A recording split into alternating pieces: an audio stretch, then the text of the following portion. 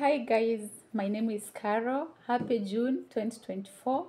Today I'll bring about five ideas or business ideas you can do with a thousand Kenyan shillings only.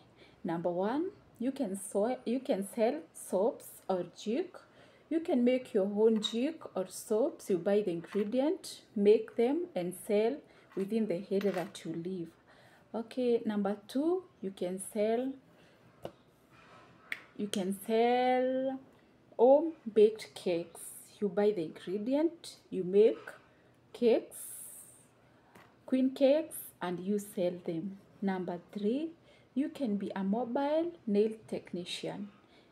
Most most of our moms who have small kids have no time to go to the the salons, so you can go around their homes, businesses, and make ladies' nails.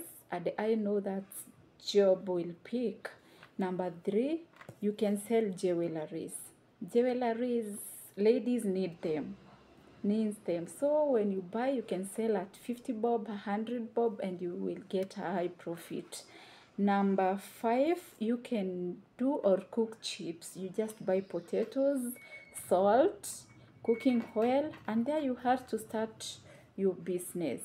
I know those few business ideas can help us. You can either get a loan from a friend or loan apps and you start a business and then you refund the money.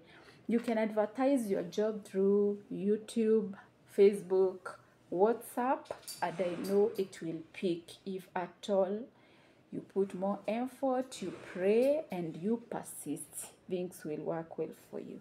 Thanks, guys, for watching, and I know it will help someone somewhere. Bye.